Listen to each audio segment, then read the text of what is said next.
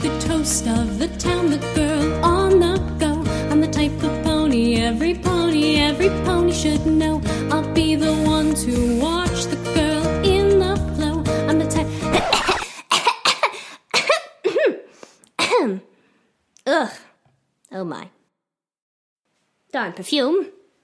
You're screwing with my lines. Thank you very much. I was having a proper Disney like solo. Why must you interrupt me? Well, that's right, this isn't Disney.